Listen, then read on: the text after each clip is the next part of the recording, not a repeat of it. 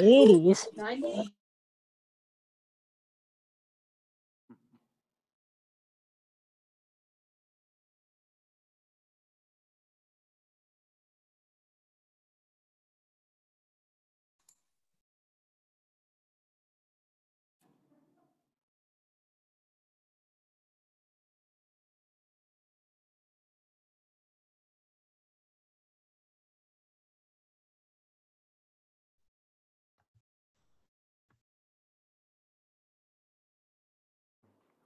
All right, good evening. As you can see, we are all in one room tonight, uh, except for Lydia. Sorry, Lydia. Um, But we have uh, successfully, we believe, figured out the technology. So props, Mr. San Francisco, uh, for getting this all squared away.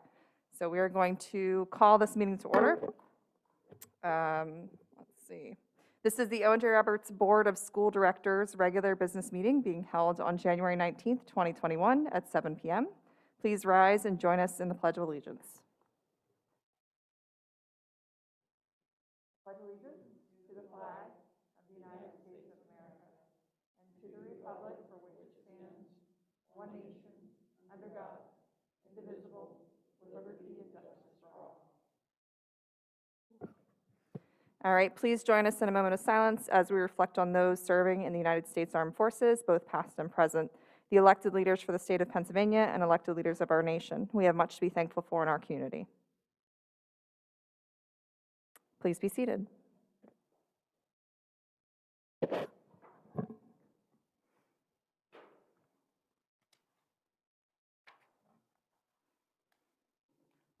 All right, item three, executive session announcement. The Board of School Directors met on the following dates in executive session to discuss items in one or more of the following areas: personnel or legal matters. Uh, January 19th, 2021. A board walk, workshop was held on January 11th, 2021. Uh, Item four is appointment of board members to standing committees and school board representatives by school board president. Do we need a motion for this? Not there? Yeah? Mr. Subers, do we need a motion for this? It's just an appointment of board members to Sorry, standing committees. we're, um, appointment of board members to standing committees, yes, I would make a motion. All right, I'll make a motion that we go forward with these Wait, appointments. hold on, where's my paper? Hold on, hold on. All right, do I have a motion? Your motion. Mr. Friel, do I have a second? Uh, Mrs. Booth, any discussion? All in favor? Aye. Any opposed? Motion passes. All right, item five, superintendent's report. Dr. Lloyd? Thank you, Madam President. We'll begin this evening with our report from our Student Government Executive Council President Dante DiNardo. Hi, Dante. Hello, how is everyone? We are well. Good to see you. Good to see you too. Um, so tonight we'll start with the elementary schools. Uh, the East Coventry fourth, fifth, and sixth graders um, developed a research topic that they then conducted an experiment on and presented a Google slide show displaying their results. Five of those students from each grade are moving on to the Chester County Science Research Competition. Um, East Vincent also started a science fair. Um, it's it's virtual, just like East Coventry's, and five of their students from each grade are also moving on to the uh, Chester County Science Research Fair. East Vincent also uh, started their mentor program, which they meet, which students meet every Wednesday with a mentor who gives them one-on-one um, instruction and reviews schoolwork with them. Um, French Creek will be participating in the Great Kindness Challenge, which battles bullying and promotes increased engagement. Um, students in grades three through six will participate in a virtual author visit with Miss Jenny Walsh, who is an Owen J. Roberts alumni. Um, West Vincent uh, West Vincent's holiday drive-through was a big success, and the students loved seeing Mr. Smith dressed as Buddy the Elf. Um, for the middle school, the course selection process for the eighth graders has begun, and uh, high school counselors will begin meeting with them shortly.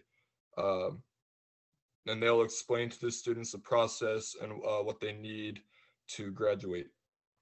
Um, the course selection process for sixth and seventh graders will uh, be released shortly. The Tri M Music Honor Society is selling virtual Valentine's Day grams, which I think is pretty cool. Uh, students can select a song of their choice to be performed for a person of their choice by a member of Tri M. And for the high school, NHS students are continuing to offer their tutoring on asynchronous Wednesdays. Um, and they are currently working on the updated schedule for January and February. Many talented O- OJR musicians uh, qualified for this year's district band, chorus, and orchestra and ensembles. And finally, the cast list for Little Women, the spring play, has been finalized, and the Video Production Club has finished editing the fall play, which is now available on the high school homepage. And that concludes my report. Thank you so much, Dante. January is School Board Recognition Month, and so um, each of our school board members have, has a little gift bag at your, your spot with um, a gift from the high school student council. And so we hope that you will wear your new OJR face mask proudly. So I have a proclamation uh, for all of you. Um, School Board Recognition Month, January of 2021.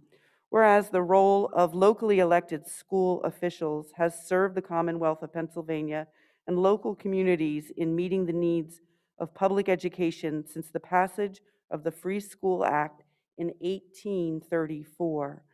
And whereas these local boards have discharged the responsibilities to public education in a manner which has placed public education in the forefront of our educational systems, and whereas locally elected officials have distinguished themselves and their communities in this non-paid voluntary public service commitment. And whereas the contributions of these men and women should be recognized and appreciated by those who benefit from the working of our public school systems. Now therefore, be it resolved that the Board of Directors of the Pennsylvania Bo- School Boards Association hereby proclaims the month of January as School Director Recognition Month in the Commonwealth. And further resolve that the proclamation be communicated to all school directors, school officials, and local communities in a planned program which brings visibility and awareness to the role of locally elected school officials to the citizen- citizenry of the Commonwealth. Thank you. On behalf of all of our, our students and our staff, we want to thank you for the many countless hours um, that you put in, the thankless countless hours that you put in to serve the Owen J. Roberts School District. So thank you, each one of you. All right, on to my report. So I have great news, great news. Um, The estimate from PDE for OJR's portion of the CARES Act funding, round two, has been revised to $1.4 million. As the board is aware, due to COVID, um, we have incurred unfunded expenditures that will be applied to this grant. Once finalized, we will post an update in the COVID section of the finance website. On tonight's agenda, I will be asking for approval of a memorandum of agreement between the school district and the Chester County Health Department to permit rapid antigen testing at the high school for symptomatic students and employees. This testing initiative includes five Pennsylvania counties and is part of the nation's coronavirus testing strategy. This will give us one more tool for us to protect our students and our staff from COVID-19 exposure. Um, You'll also note that the health and safety plan is um, on the agenda for you to um, approved because the antigen testing has been added to that. With regards to our work surrounding equity, I want to thank the North Coventry PTO for hosting a community event on implicit bias um, with local diversity and equity expert Justin Brown. Tomorrow, there will be training provided to all teachers and paraprofessionals, um, also focused on implicit bias, um, titled Breaking Away from Bias, co-facilitated by Laurie Kuzik and Michelle Govan. The training will raise awareness for our implicit bias and give tips to mitigation. The Chester County Health Department has developed a plan to accelerate the vaccination of our education community. Staff at public K-12 and non-public K-12 schools and childcare staff, approximately 15,000 individuals in Chester County. This plan leverages the wide-scale distribution expertise that the county and school partners have been developing over many years. The plan calls for four school-based vaccination sites to be open concurrently over the course of three to four weekends, beginning as early as January 30th. After staff has received the first dose of the vaccine, the plan will be repeated for the second dose. The most critical element of this plan is the vaccine, both the timing and the amount of vaccine. At this time, with the limited access to vaccine and no clear, sustained access to large quantities of vaccine in a consistent basis, the health department will need to delay the plan for our education community. Access to the vaccine is necessary to returning our students to in-person learning. I urge our board members and those of you watching this meeting tonight to contact your local legislators and urge them to use their position to have the vaccine delivered to Chester County in order for our teachers and our school personnel to be vaccinated against this deadly virus. This concludes my report. All right, thank you, Dr. Lloyd. Uh, We're going to move on to item six, which is public comment. Information, proposals, and statements from individuals or delegations pertaining to items on the agenda. Speakers are to indicate your name, township of residence, and the item on the agenda to which your comments are addressed. Speakers will be limited to no more than three minutes. Please understand this is not a time for dialogue with the board. Rather, the board will listen to all comments and consider them in future deliberations. Um, Also, if you have a question for the school board, uh, please don't hesitate to email us. Um, We can be contacted at schoolboardmembers schoolboardmembers@ojrsd.net. Um, Jackie did actually uh, just update our school board website so that you can see the email address. It was originally just a click here. So um, appreciate that call out we received. Um, All right, and so then there's a guideline for anyone that would like to make a comment. Please use the raise hand function. Um, And when it is your turn to speak, please state your name and township residence.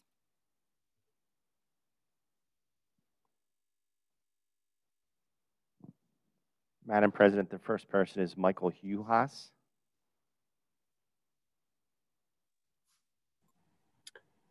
Hi, I'm Michael Uhas, North Coventry Township resident uh, and middle school teacher, and I would like to speak on agenda item 13.3. I'm speaking tonight on behalf of all middle school teachers. We request that the board votes no to the proposed middle school plan to bring in students for half days on Wednesdays. This plan was created due to a request from the school board to increase in-person learning, but is not supported by middle school teachers because we believe it puts students who are currently struggling at a greater disadvantage it does not fully support learners in all settings, and it creates more inconsistency in our learning model. My colleagues and I believe that in order to best support all of our learners, hybrid and cyber, we should continue with a fully asynchronous Wednesday. As shared with the board in the REA's letter on January 4th, a fully asynchronous Wednesday provides teachers with invaluable time for a variety of crucial activities that support our students. On Wednesdays, we contact families, provide students with feedback, and most importantly, support struggling learners. At the middle school, our lowest performing students are already struggling to keep pace with instruction. Wednesdays provide us with the opportunity to reach out to these students and their families on a regular basis and to provide them with the remediation and focused support they need during individual meetings. Regular education and special education teachers within our building agree that adding synchronous instruction on Wednesday, even in a half-day format, will not support our students. It will only exacerbate the issues that these struggling learners are facing. For our 300 plus cyber learners, we are able to, to conduct office hours, a more individually focused time where these students feel more comfortable asking questions. The current schedule also provides us with the time to research, plan, and develop lessons and materials that benefit both in-person and remote learners. The proposed half-day plan will once again disrupt our educational model, especially as it will begin in the middle of a marking period. Continuing with an asynchronous Wednesday will maintain consistency for all students, parents, and teachers. Our staff and the parents within our community have worked hard to implement routines during this chaotic year. And a half day in the middle of the week will disrupt the daily and weekly routines that have become familiar to students. As educators, we want what is best for our students.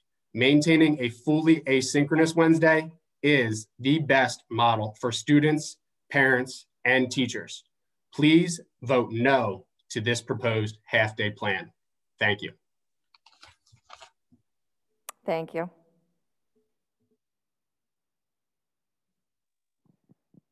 Madam President, that's the end of public comment.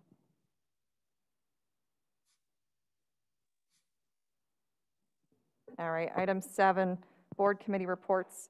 Uh, Meeting, it's hard to, a meeting of the Committee of the Whole was held on January 4th, 2020 at 6 PM via Zoom. The following committees met at that time, Curriculum and Instruction Committee, Finance Committee, and Personnel Committee. The board was provided a draft copy of the combined Buildings and Grounds and Finance Committee meeting minutes. Item 7.2, Buildings and Grounds Committee. Um, So we're going to stick with our old chairs for these reports tonight, um, just so that the uh, public is aware. So uh, Mrs. Booth.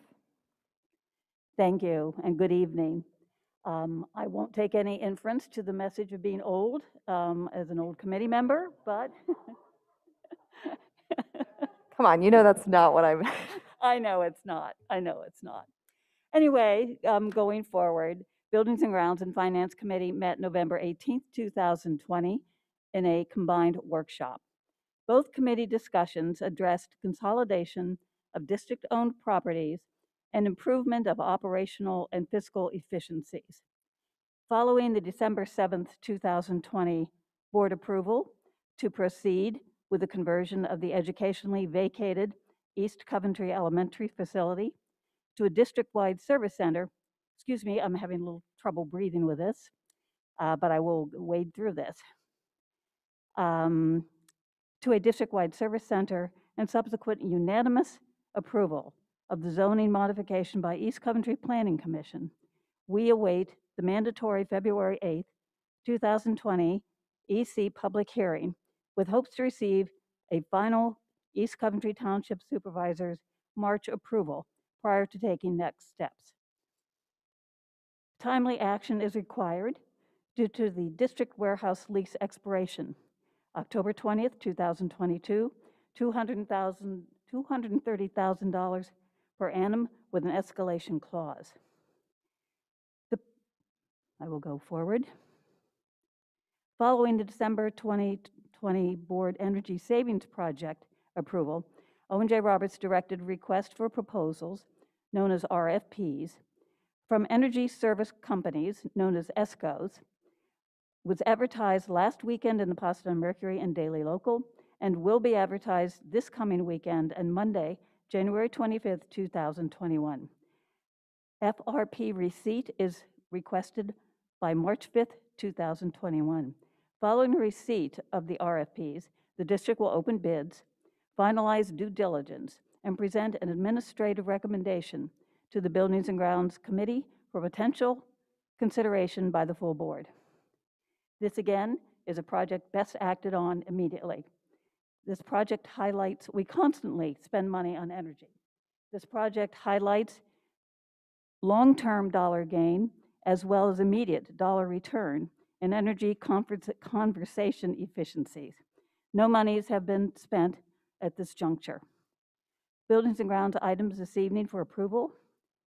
Item 13.11, membership to the Keystone Purchasing Network, Lawton Lane, Milton, Pennsylvania.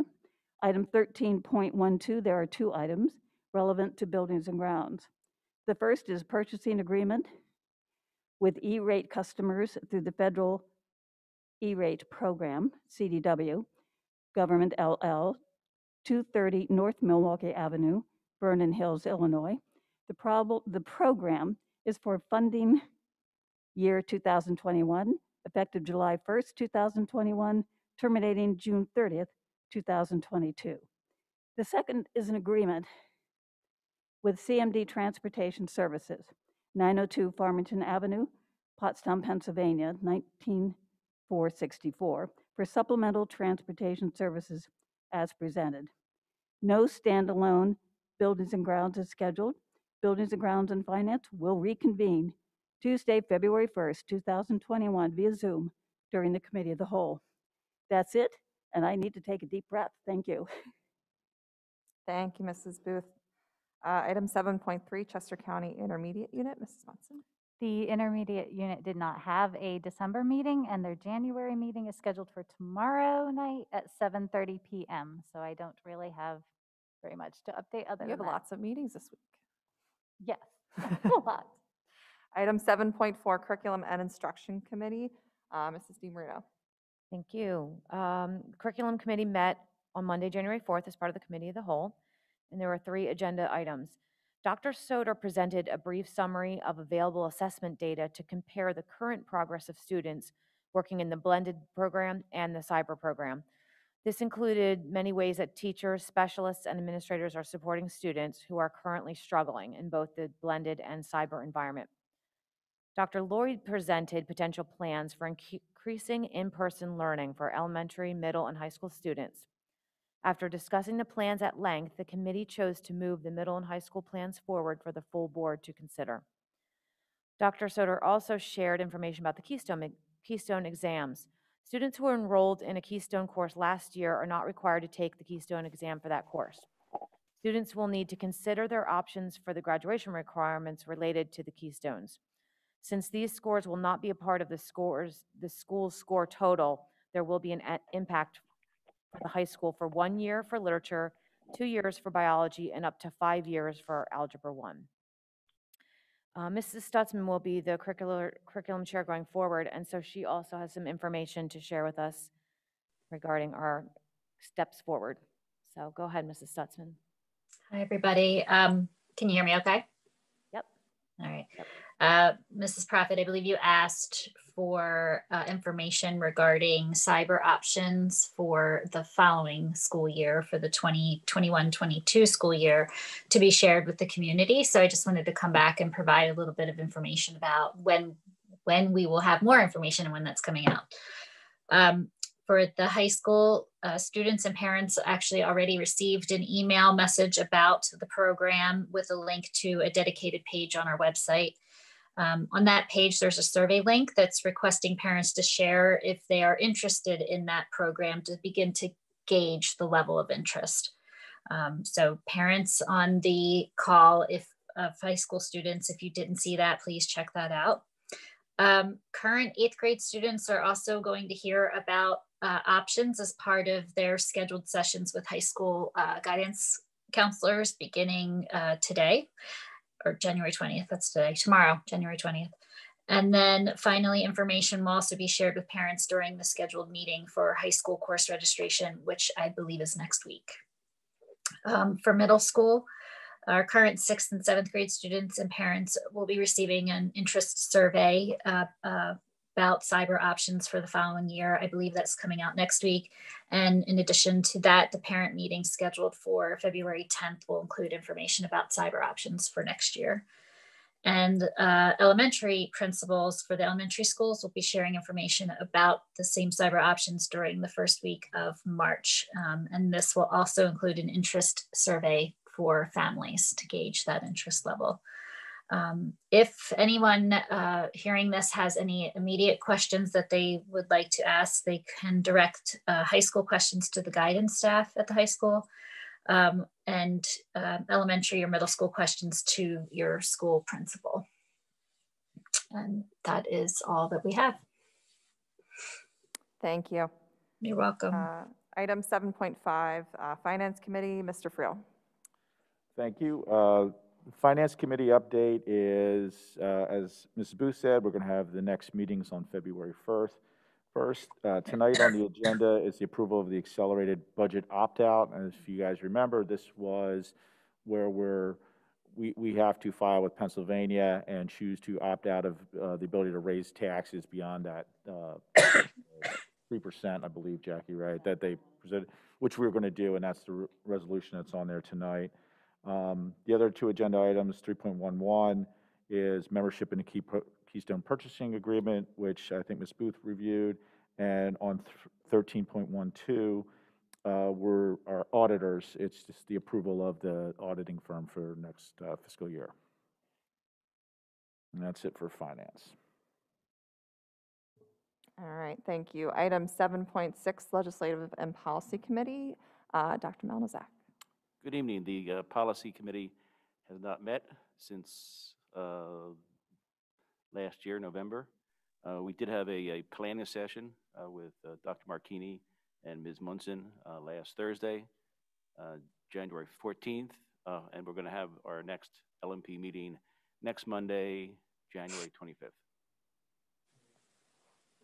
Great, all right. Item 7.7, Personnel Committee, Mrs. Stutzman. Um, the Personnel Committee met as part of Committee of the Whole on January 4th. Uh, Mrs. Hay reviewed the process and timeline for our high school principal search and announced um, a survey that would be emailed out to students and parents the following week um, for their input on that search. Uh, we hope to have final candidate for board approval during the May business meeting.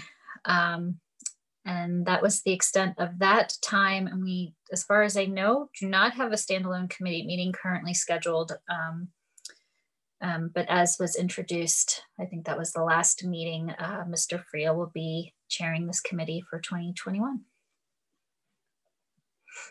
Thank you. Item 7.8, People Services and Special Education Committee. Um, So I'm sad to say this will be my last People Services update report. I just wanted to say thank you to Dr. Markini. It has been a pleasure working with you over the last few years. Um, Also on that note, I wanted to thank him and Mr. Bentman and the wonderful parents in the North Coventry PTO and Aid Committee for bringing Justin Brown to our district yesterday. As Dr. Lloyd mentioned, he conducted two incredible sessions for our parents, one discussion about implicit bias and one about racism. Uh, Justin was an excellent presenter, and I have to say, I'm very jealous that Downingtown snatched him up. Um, but no worries, he said he's only an email or phone call away. Um, I personally find I understand concepts better when I'm able to relate to them in real life. Justin used many group games to help explain what an implicit bias is. His one game that is called This or That really helped drive it home. Um, he asked the group if they were a dog person or a cat person. I was going to play that game with all of you, but I know some of you don't like icebreaker games, so I'm not going to do it. Um, but maybe we can snag him for a board retreat sometime. Um, the board did have an excellent board workshop last week with our central admin team and our building principals. Uh, the goal of that workshop was to continue our work towards equity. While this is not necessarily a people services conversation, I would be remiss not to mention it. Um, uh, Dr. Lloyd and I met with uh, Dr. Heather Bennett, the Director of School Equity at PSBA in late December to share our progress and the listening sessions we had conducted. Uh, Dr. Bennett recommended the next best steps would be to take a deeper dive into our school data and understand the makeup of our student body.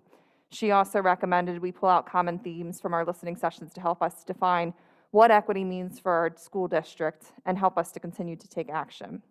I want to thank our administration for such a great workshop and for spending yet another late evening with us. Uh, It is so insightful to hear from our admin team what their perspectives are for each of their buildings, and I'm really looking forward to continuing this great work with you all. All right, item 7.9, Technology and Communications Committee. Um, Sorry, Mrs. Munson. No worries. Uh, Yeah, so Jennifer Munson is the uh, old chair, not old, but previous. And Mr. DeFore will be the new chair. Um, So we are still investigating survey companies. We had had interviews with two of them that had a very different approach to how they survey communities on behalf of the district. And I believe we have one more that we're trying to line up. Um, also, this is really exciting. If you have not actually been to ojrsd.com recently, please go and look at the website. Over the winter break, they uh, moved to a new visual interface. Um, This redesign is still in progress on the back end, but you will immediately see the difference when you get there. It's a lot more mobile friendly. When you bring it up on any size screen, it resizes very nicely to that screen. Um, just you know scroll through and look for the things that you're used to looking for and i'm i'm pretty sure you'll find them easily because it's it's presenting everything very nice oh very nicely. Okay thank you. So if you didn't catch what i was saying i'm telling everybody to go look at the website. It is also ada compliant now. It has a high contrast mode toggle. It also can be uh, changed to different languages. Uh, we have um, streamlined the content. There's been some cleanup on the back end that has happened already, which will improve our search results. Um, basically, whether you're going from Google or right on the, the website, we should get better search results. Easy access buttons, alert messages, and the great news for the folks inside OJR is that it's the same backend system, so nobody needs to be retrained on how to share their content. And one more website related thing. A community member, Ralph Bozarth, has put together a website called ojrsdhistory.com. We also have a link to that from our OJR website. It's got pictures and all sorts of information about the history of our school district. So I encourage you to check that out too. And we do not currently have a next meeting scheduled for technology and communications. Thank you. All right, thank you. All right, we're going to move on to item eight, recommended routine matters. Item 8.1, motion to approve recommended routine matters, consent items 8.2 through 8.11. Uh, The board will make a motion to approve the following routine matters, which are items 8.2 through 8.11 as action consent items. Do I have a motion? Mr. Deal, do I have a second? Second. Uh, Dr. Melnazak, any discussion? All in favor? Aye. Any opposed? Motion passes.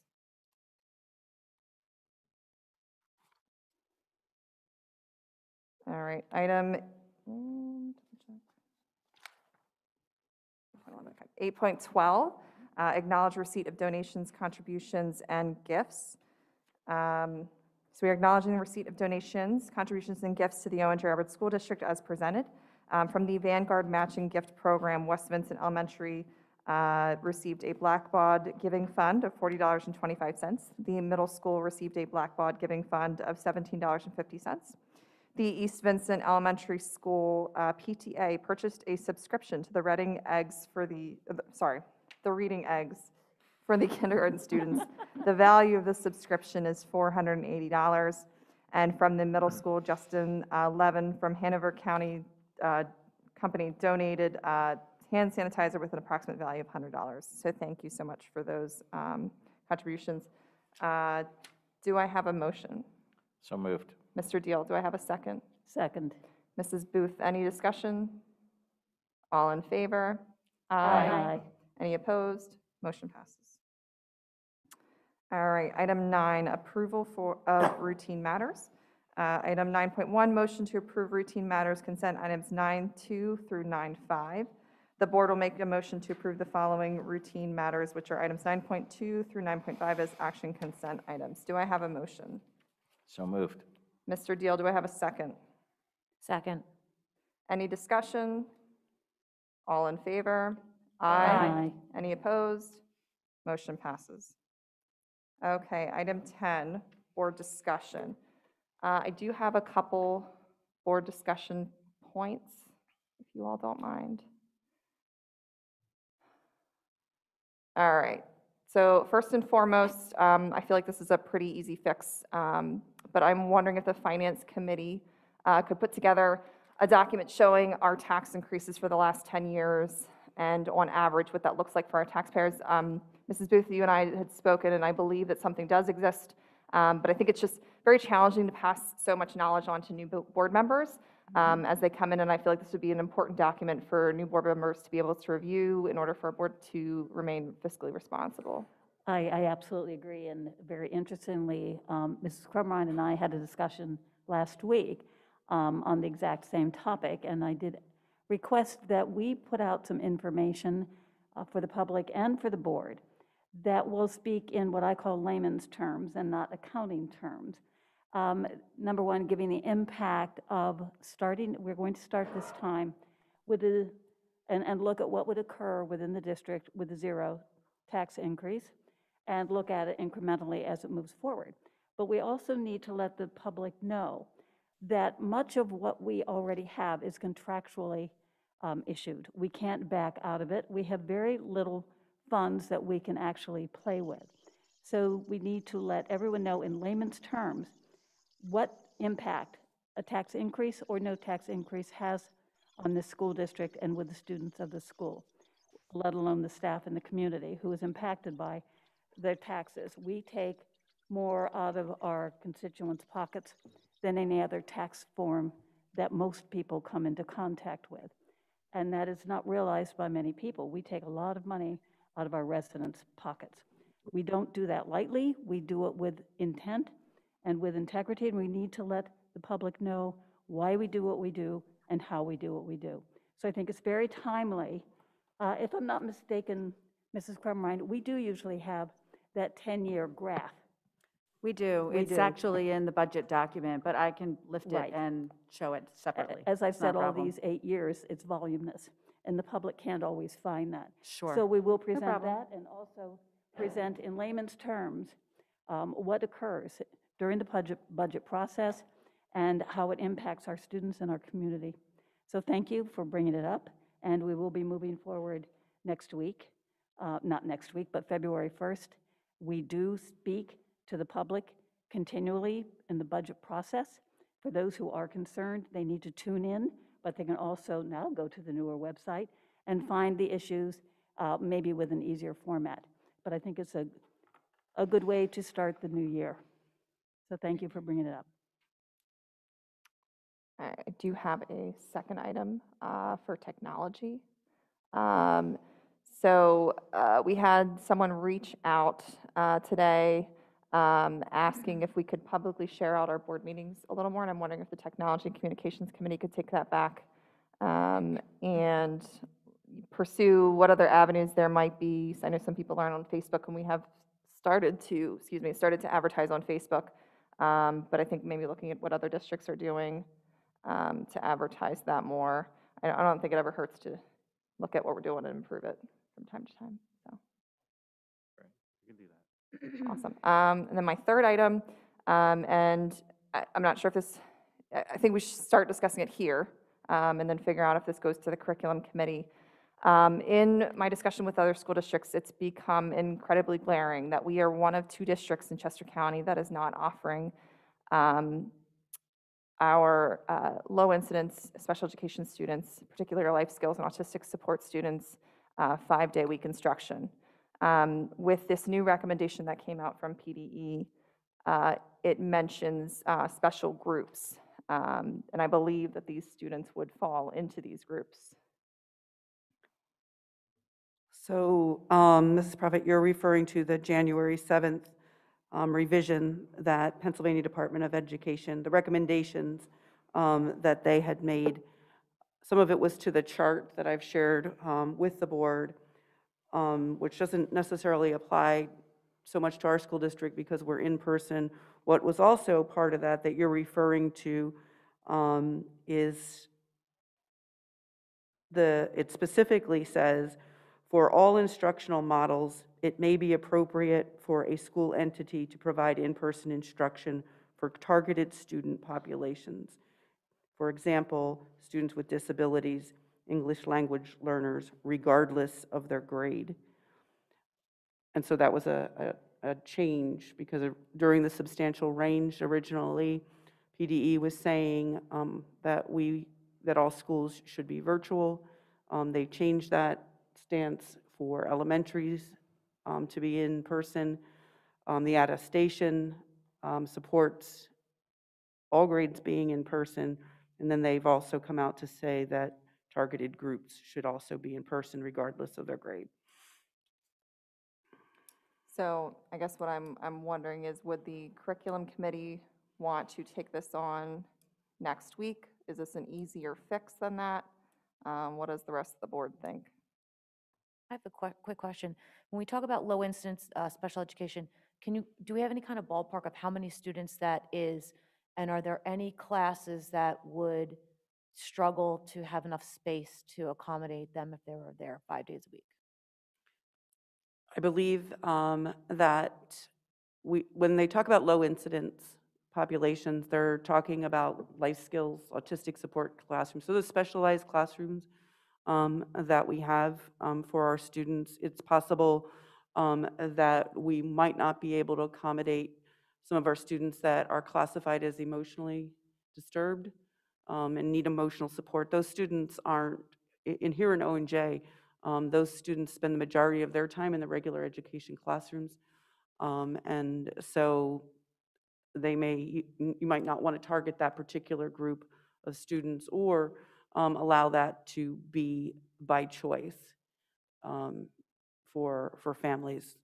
It's a, it's a much different population than your life skills or your students that are receiving intensive autistic support.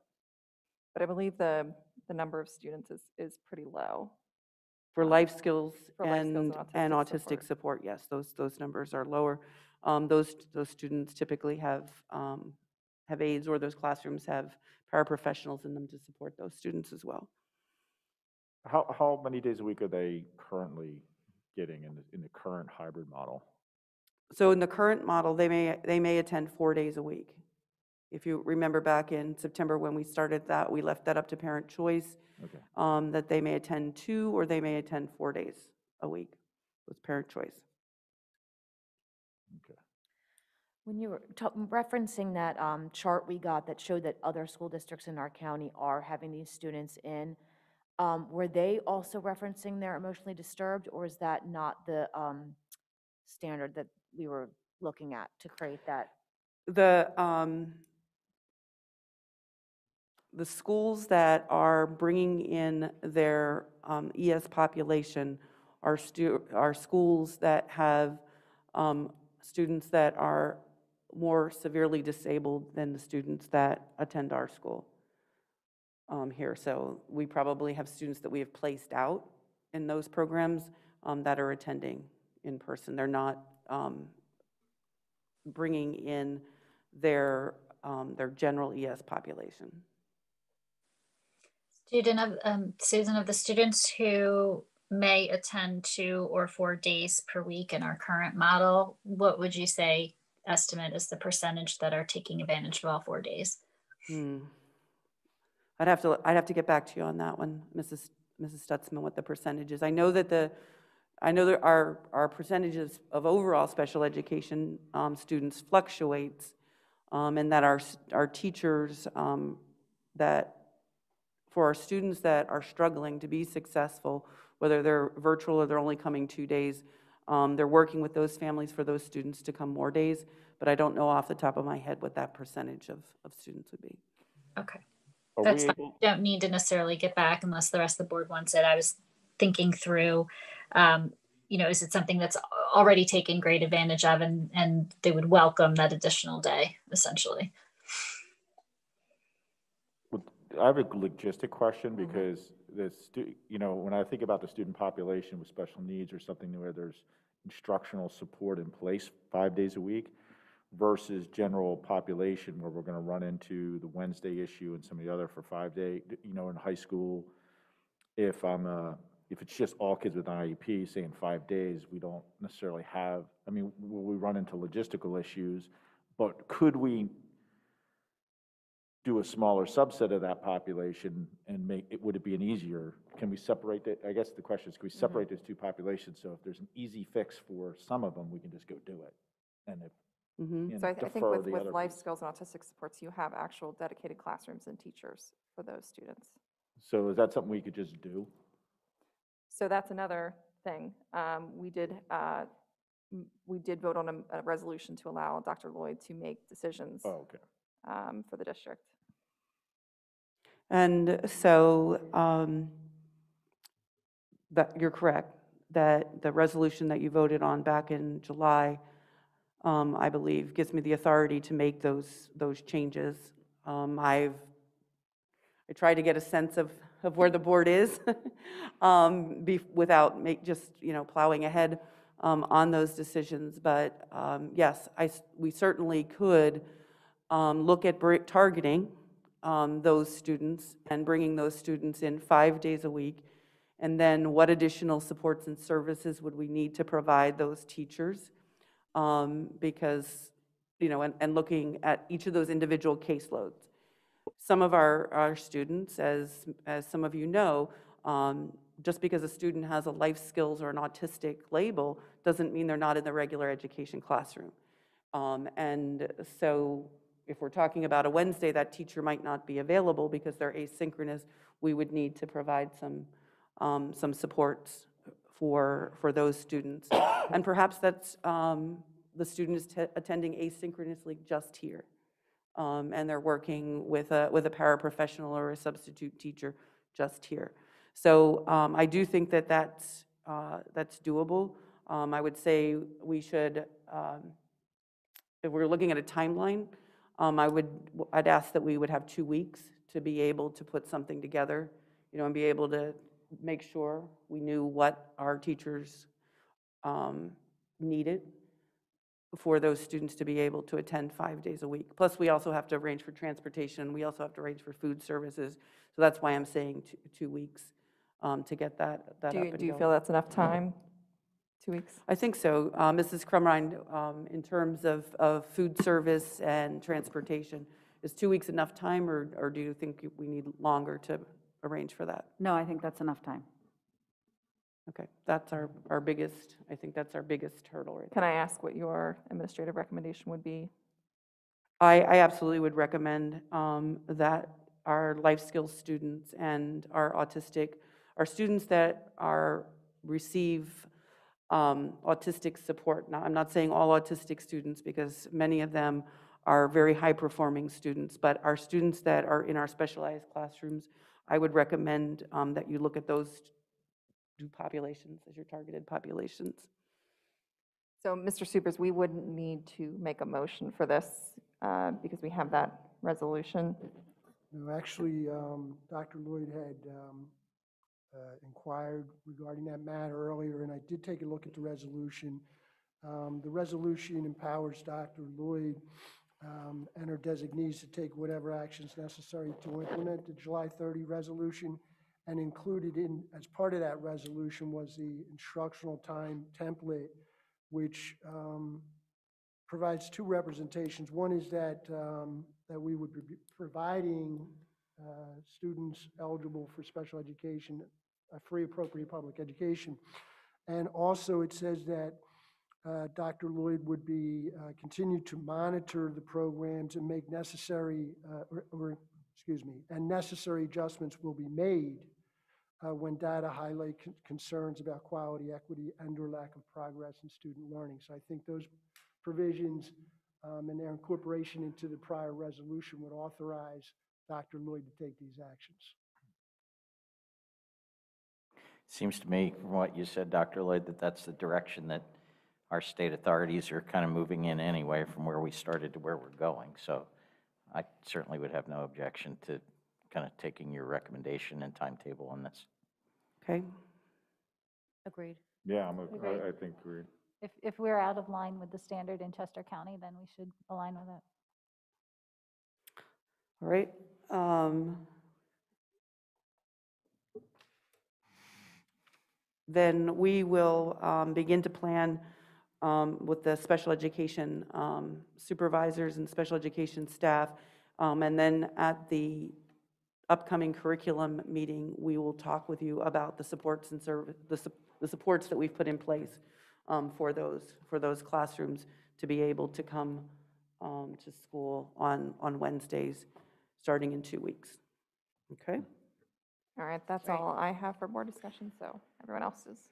I have one item. We had talked, uh, several of us, about the current committee structure and perhaps trying to streamline that committee structure. What would next steps look like? We talked about combining the seven committees down to as few as four. I'm just not sure the process that would follow if we wanted to move ahead with that.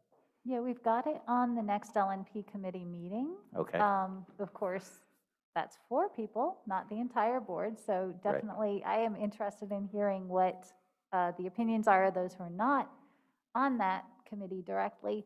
We have a couple of options. I guess currently, there are seven defined committees so that each person other than the president and the vice president can chair a committee. Um, We could choose to take the committee names out of our policy altogether so that the committees themselves could be reorganized every year without a committee, um, without a change to the policy that contains the committee names. Um, So that is, that would be, I think, the most flexible of options. And perhaps we would just define that there must be a minimum of perhaps four standing committees plus however an ad hoc committees are necessary at the time. Mm, I think leaving that ad hoc committee uh, verbiage in there is good, because I think there's, there's going to be points in time where we feel like we need to put a committee together, and, and I like the flexibility of being able to call one. Right, that would also allow us to change the verbiage, but keep the committees that were just uh, instated until we're ready to move responsibilities around to a new committee structure. It would, it would tie the committee structure to the board's decisions rather than tying it to an annual reorganization, essentially. Yeah, thanks. Sounds like a good plan. But, any other comments? I, I, I think the maximum flexibility, because honestly, having to go through a policy change in the reading, on this, Right. just to say, hey, we're gonna, we need this committee or we don't, is, is, seems cumbersome. And I think the maximum flexibility that you were talking about is, is what I would vote for, I think. Right, and f- I chose four because I believe when we were originally talking about how many committees do other districts have, four seems to be a pretty common number. It's kind of a, kind of a, makes the math easy too, because in theory, you should have a president that's ex officio and eight board members, so divisible by four makes it easy.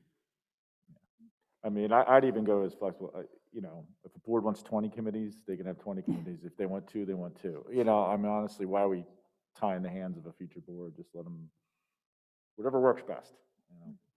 I, I agree. I think flexibility is the best way to go. As I said last time, um, we'll have a new board before we know it, and they should have the option of dealing with their board as they feel.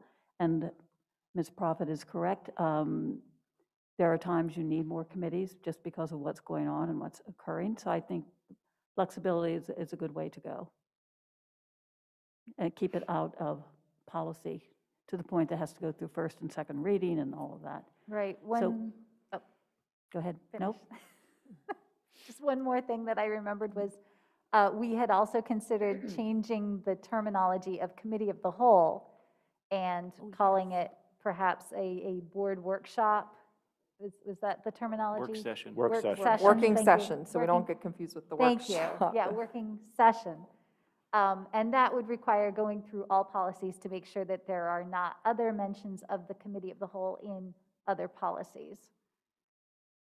So is, I'm seeing nods. Is anybody opposed to changing the committee of the whole terminology? I just feel like it'll be a little more, um, a little easier for the public to understand that it's not a voting session, that is just purely a working session. It's exactly what it is. Correct. Yep. It ha- Yes, Okay, No objection. the cow thank has you. often been joked about. Yes. no more cows. Say bye Yes, to the cows. Funny you should mention ad hoc committee. And I, I, I totally agree that we, we should, we should cut down our, our standing committees. Um, But, you know, over the last several months, you know, I've been really proud of the, the work we've begun about uh, equity in education, um, the, the listening sessions we've had, you know, uh, yesterday with Justin, um, it, it's all been quite wonderful. And uh, what I've learned is, I don't know what the heck I'm doing most of the time, or, or what the problems are. Um, and I know we have, we have, uh, you know, s- suggested that we use a equity lens in, in everything we do, um, in each committee. But that may sometimes get kind of, you know, sidetracked with other, other, other issues. So I was going to recommend, since we're new with this, um, equity in education, uh, perhaps we could have a special committee that focuses just on that, and also, uh, which includes outside members, uh, either from the community or, or experts in the field.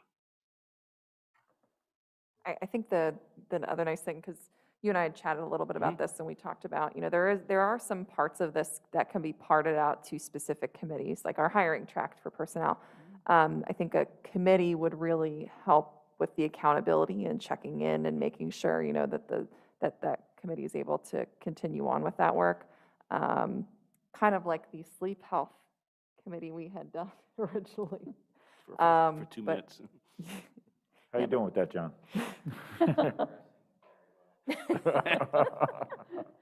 Nobody comes to school. Yeah. And I, I know, I know we want to kind of get a, a sense of where we're going with even our definition first. Um, But, you know, that'll take some time, but it will also take some time for us to kind of figure out how we want this committee to work. So I I think, I think- think starting it now, the, the process, not, not so much meeting now, Mhm. but the process of organizing it uh, with, again, members of the community and, and experts. Yeah, and I think that's key, the members of the community. We- We've talked about after we had these listening sessions, how do we continue to bring in uh, the voices of our community? And I think that's a really um, great opportunity. And I don't know if, you know, we have something like we have representatives from each of the, from each of the schools, maybe each of the, uh, the PTAs and PTOs or something like that, just to kind of continue to bring that message forward um, to the board. I'm, um, I think there's a lot of uh, opportunity for that.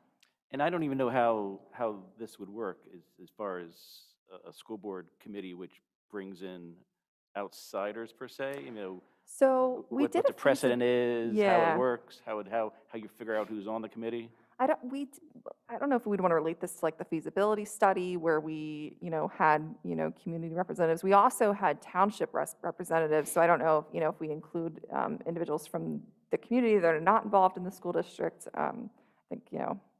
It's really potentials- more of a task force then, than really, than a Yeah. committee. You know, that's what we called it also with the sleep health. That's how you kind of incorporate all those different groups, I think, as you sort of term it something different. So I don't really know if I it, just think you're right, John, in the structure, and you don't want to create something that's unwieldy, right? As you try to gather all the Yeah, exactly. potential inputs together.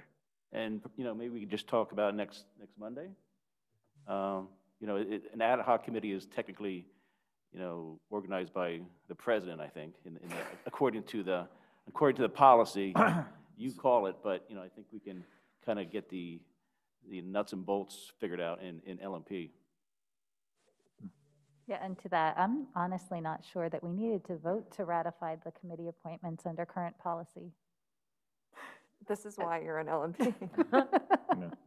Well, I, I just want to say, I think what you guys are talking about makes a lot of sense, and I'd love to see the equity continue on with, you know, so it doesn't become diluted out, and bring in the outside help in some way, so I would be fully supportive of the president forming that committee, and then you guys figuring out how to structure it, but, you know, and everybody, I don't mean you guys, but. If we want to go to this like really, really flexible committee structure, should we require that the full board vo- vote so that if somebody objects to what the president has put forward, they have an opportunity to voice that objection? I'm fine with whatever you guys want to do. Thoughts? Those sound like vexing questions for LMP. Uh, There you go. Um, when we do talk about, when we talk about this at more length at LMP, can we also um, just revisit the community participation? I do think that's actually a common construct in some school districts where they have um, stakeholders, external, you know, whether it be parents or students or community members as part of some of the committees. So I don't think it would be out of totally out of the ordinary. I agree, and it may be that our current policy allows that. I, I would have to double check the wording. Because I think it specifically says like a minimum of board members. I don't know that it specifies. That it excludes anybody. Right, exactly. I don't know if it excludes. Right, it, it strictly says it can't be more than um, a quorum of board members in one committee. That's the only exclusion, um, just like the feasibility study. Um, It could be set up with however many stakeholders. um, the group would, would care to have, but it cannot be more than a quorum of board members involved in the committee. Let me know if we need to get more mugs for Finance Committee, Melissa. All right, what your plans are. That's right, where are those mugs? That no one has. I left it, to the- I left them at home, I know. I forgot we were meeting in person. You only have to buy four. Mr. Friel? I know, I know. Um, No, I- I'm not commenting on your behavior. Um, Mary, if you're out there, drive them up. um, Mr. Friel, what, I I did get feedback when you talk. Could you speak directly into the microphone? People want to hear what you have to say. Oh, Thank you. I will do that in the future. What was that about the mugs?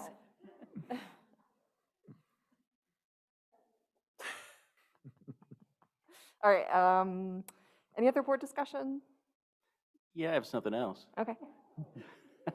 I'm, I've been busy this month. Um, you know, what- whatever we do with bringing kids back into the classroom, uh, we're going to have a lot of kids struggling. Uh, That's, that's, that's, you know, self-evident. Um, so I know you guys are probably thinking about uh, ESY right now. Uh, and I would suggest that we kind of broaden, you know, invitations to that.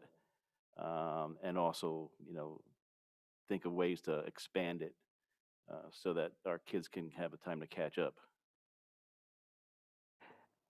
And so I am not sure if Mrs. Stutzman's committee is prepared to talk about that this month, but um, that is definitely, we've already begun to work on that um, with the building level administrators on not just ESY for special education students, but for um, all of our students that, that really struggled this year. So stay tuned. That's going to, that information is going to come through Mrs. Stutzman's committee. One Sorry. last thing for Mrs. Stutzman, your committee. See how popular you are? So I just have a question. Oh, yeah, Um, go ahead. Can we expand the time of ESY, or is that like contractual? How's that work? Um, Dr. Marquis going to have more on, on that. He was just um, consulting, they just had their, their big um, SEAC meeting. Um, And so he'll have more of that for pupil services, or we can do it as part of curriculum. Well, we- we've combined them, so we'll probably do that part as curriculum. Um, And so we'll talk about both regular ed and special ed at that meeting. Okay, okay. I just think we can, if we can maximize as much of the summer um, to help our kids out, I think that would be best. Mhm. S- Some schools are- have already started after-school programs um, with their, their CARES money, so there's, there's options. Okay. My question has to do with, uh, you had mentioned earlier surveys going out about uh, what cyber might look like for next year. And I guess my question for the committee is you guys think about what the models like, might look like. Are you assuming that by the fall, uh, we'll be in a position with relaxed distancing, vaccine distribution, the whole works, that you would have uh, students who wanted to be in school in five days a week? Because it seems like the mixture of five days a week versus cyber needing some kind of an asynchronous day is something that we struggle right now with in terms of instructional models. So are you guys taking, I would, I would suggest you take that into account as you think about what the model might look like in the fall. Yeah, I would think, This you know, is, uh, it's all or none, you know, either you're in cyber or you're in, once, once things Yeah, calm this is down. the, if you're interested in Cyber Academy, assuming five days a week, assuming we're going back to school as normal next Okay. year. And most or all kids, you know, would be normally planning to go five days a week. Okay, There is now going to be the option for kids to sign up for Cyber Academy instead of going physically to school.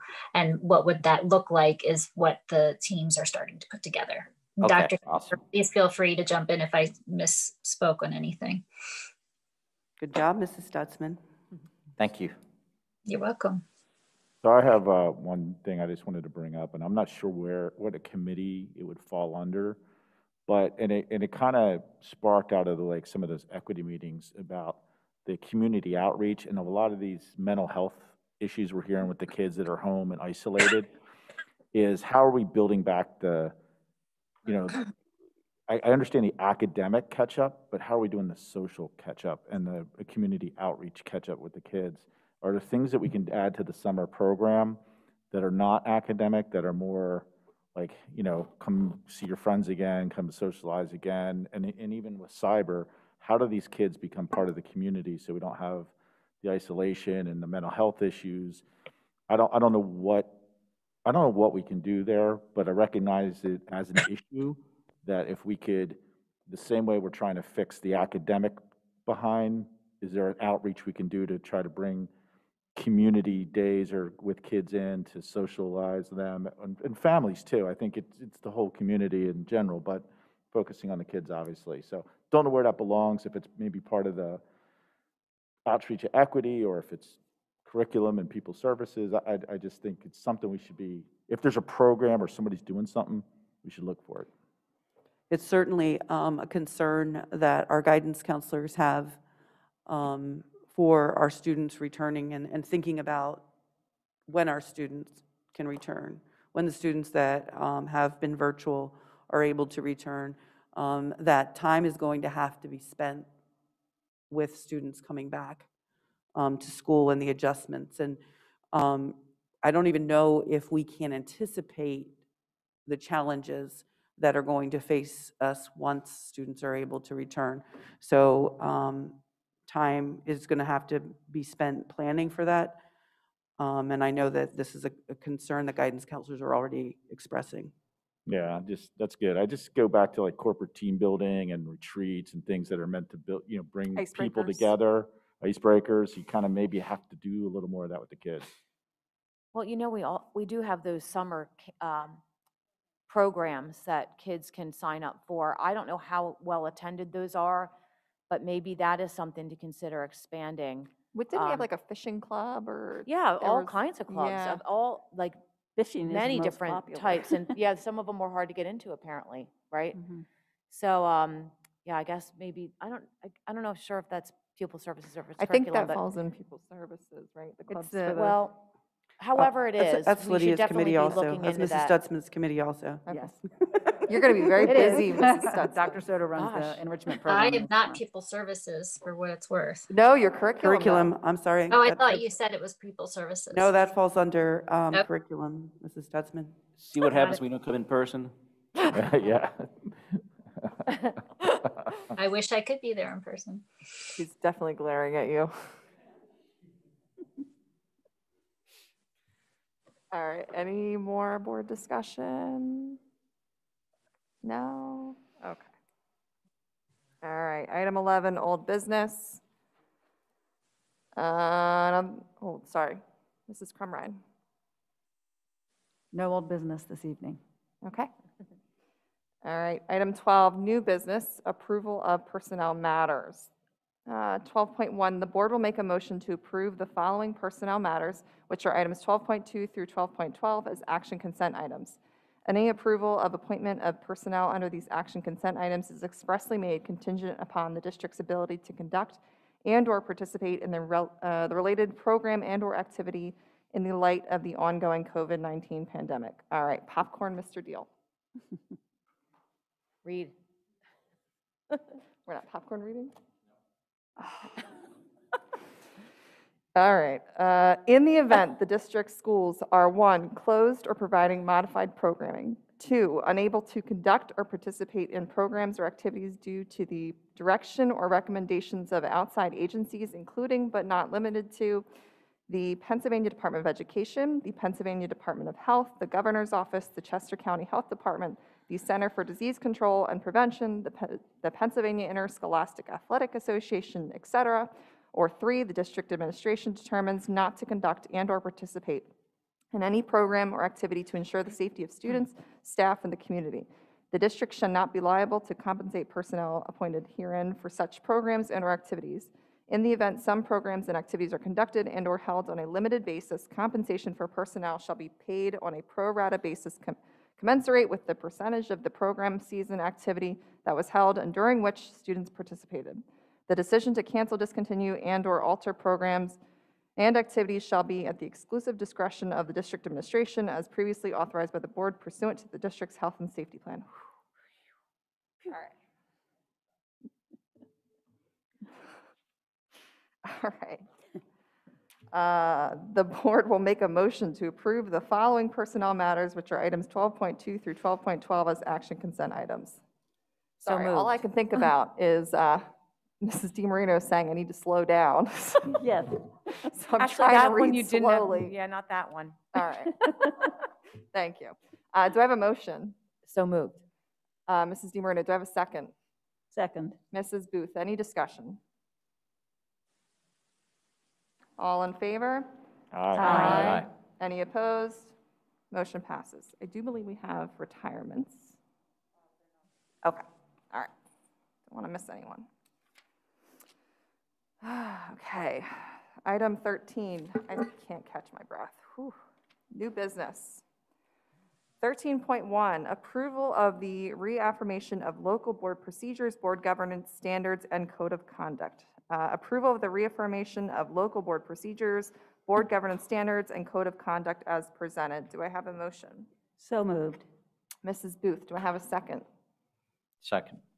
Mr. Deal, any discussion? All in favor? Aye. Uh, Any opposed? Motion passes. All right, item 13.2, approval of phased school and athletics reopening health and safety plan updates. Approval of the phased school and athletics reopening health and safety plan updates as presented. Do I have a motion? Motion? Uh, Mr. Friel, do I have a second? Second. Uh, Mr. DeFort, any discussion? I- I just, just want to add, you know, we're, we're, the update is primarily for the new antigen tests. And, uh, you know, I've been looking at them and they're, it's a, it's a very good test. Uh, So people should feel pretty confident. Uh, If it says you're negative, it's 95% chance that you are negative.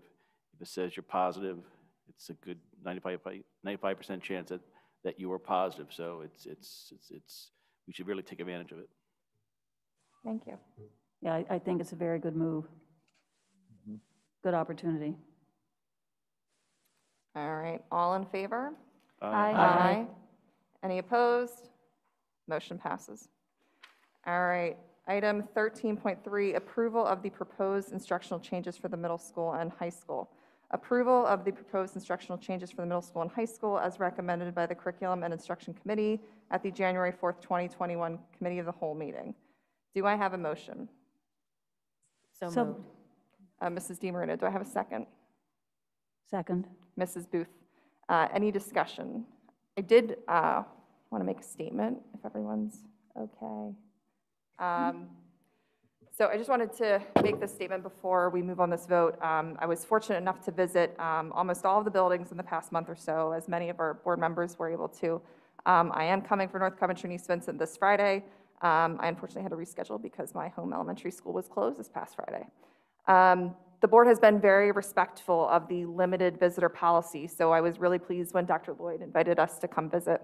Um, I will say, though, I didn't need to visit these buildings to see what rock stars our teachers are. Uh, I am fortunate enough to see this uh, every week with my own children. I also hear from the community all the time how much they love their teachers or how their teacher has gone above and beyond.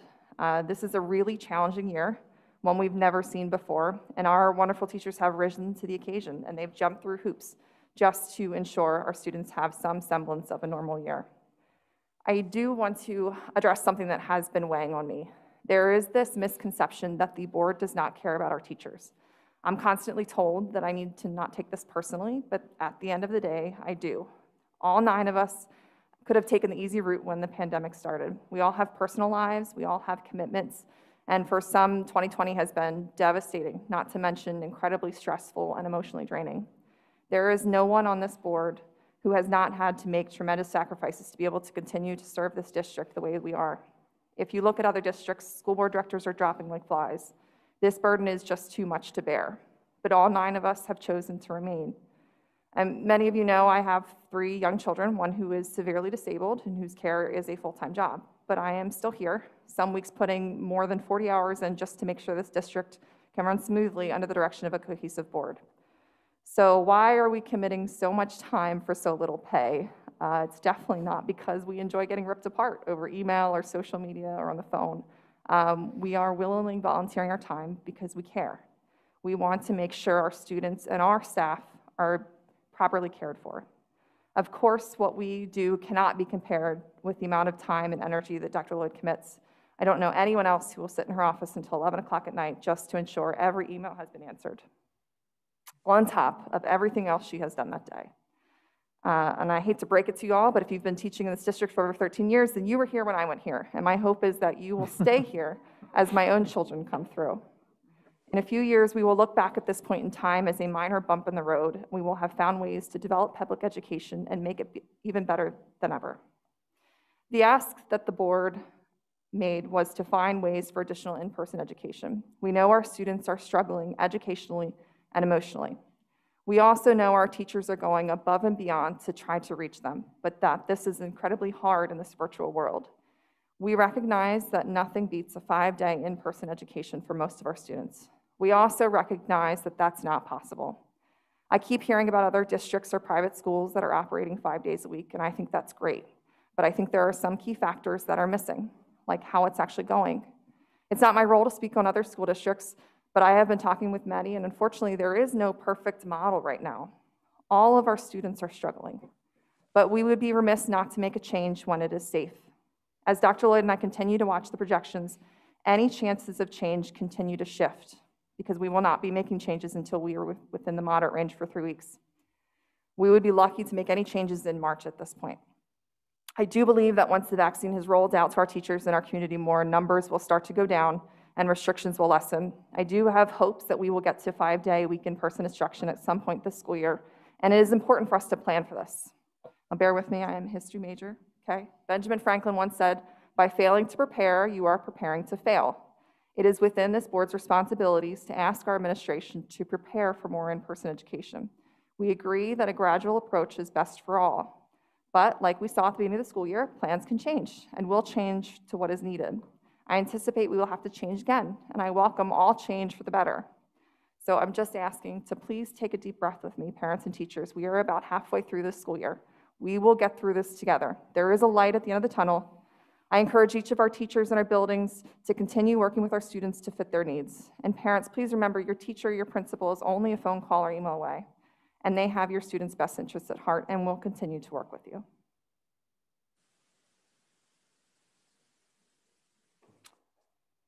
Any other discussion? We're looking for discussion now. Mhm. So I, I struggle with this one because I think, you know, the high school's o- obvious, it's easy, it's a four-day. It's the middle school and the half-day that I just wonder if the juice is worth the squeeze. So I struggle with, you know, the feedback we've been getting from some people and some teachers and some parents, and there's this, it's just a split on this issue. And is two days a month of a half a day schedule, is it, is it meaningful, right? Where I'm, I'm wanting to plan for five day a week. I'd like to see as soon as it's safe, our kids go back to regular five-day school. I don't know when that, or if that will be. Um, But, but that's my only concern here is on the middle school plan, on the half-day, and I'm pretty agnostic about it. I can be persuaded. I just am, I'm just wondering if it's really meaningful, incremental for what it, the schedule change. So that, that's my question that I have as I enter this vote. I'd love to just quickly share that uh, I um, went into this pretty similarly to Paul's thinking and relatively agnostic, taking your guidance as far as um, administration administration's guidance as far as what's best to answer the charge that was given around how do we continue to make improvements where we see the ability to do so, get the kids more time with their teachers. Um, work on some of the numbers that we've seen falling drastically um, in middle school, especially. And to uh, Leslie's point, there is not a win win situation right here available to us right now. So I think what this is is uh, recognizing that getting kids with their teachers more, more time with teachers synchronously can hopefully be a bit of an answer and an interim step until the five day. To be honest, it wasn't until I really thought about the fact that the majority of our middle school kids have chosen to be in person um, and that this gives them more addition, you know, additional time with their teachers, whether it be that half day in person twice a month or the additional synchronous time for that half day. So every Wednesday, you're going to have more synchronous time with your teachers. Um, but then, in addition to that, uh, with the majority of them choosing to be in person, it feels like the right adjustment.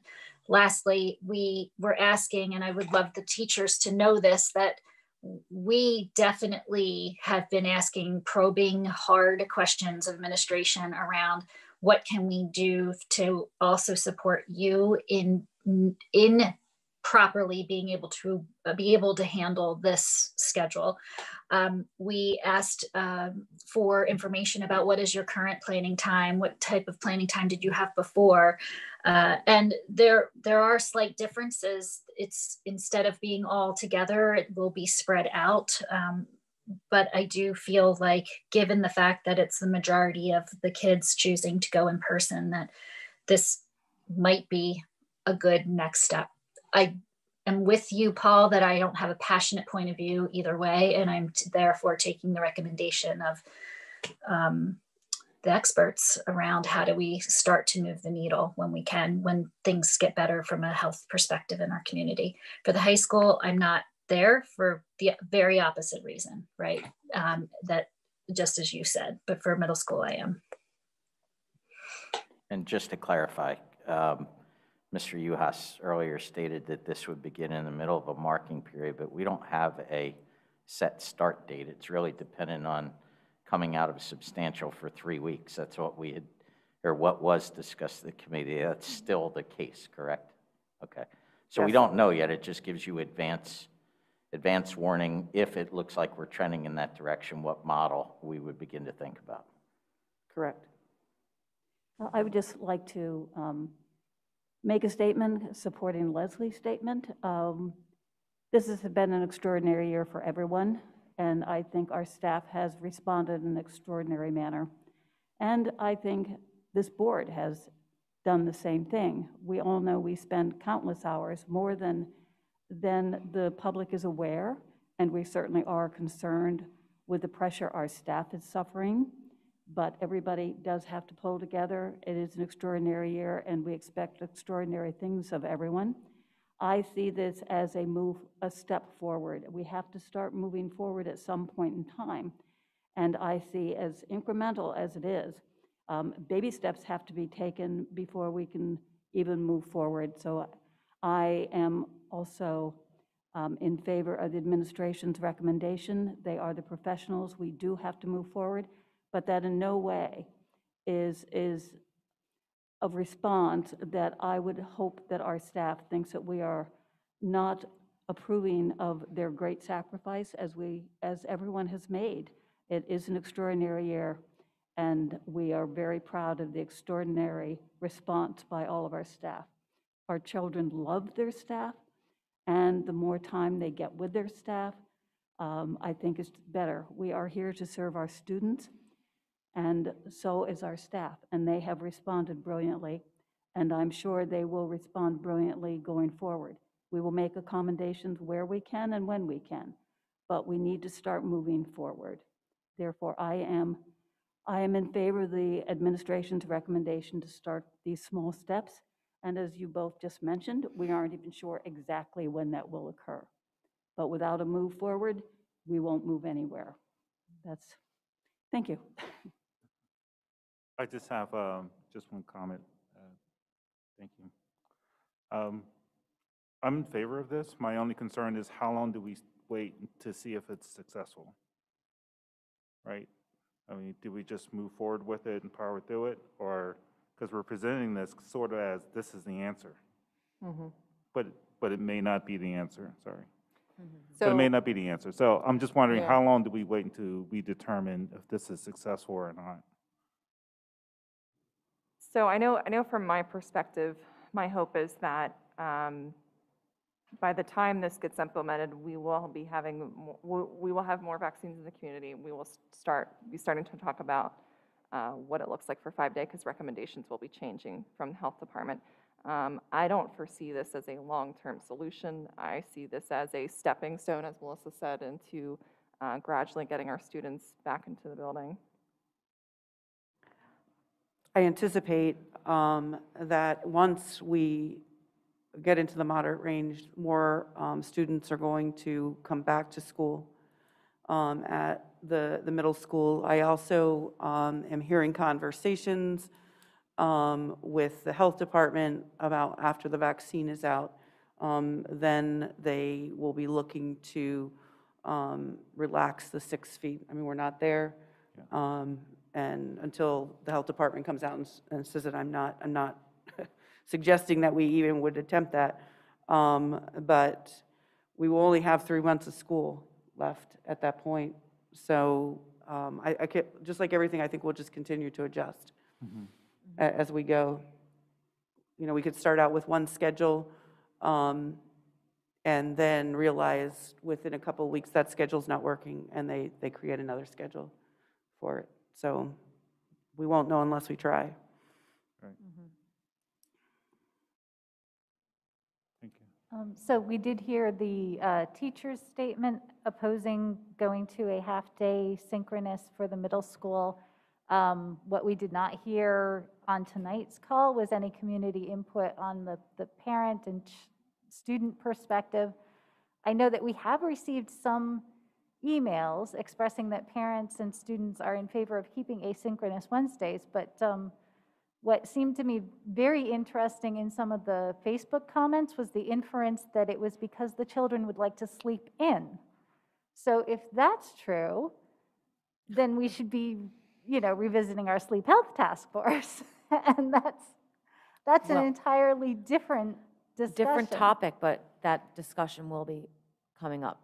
Yeah, so I mean, I think we should take this opportunity to alert parents that if, if your child is saying that they want to keep their asynchronous Wednesdays because they get to sleep in, perhaps, perhaps it's worth understanding completely what that feedback is about and whether they think they would do better in school if they always started later.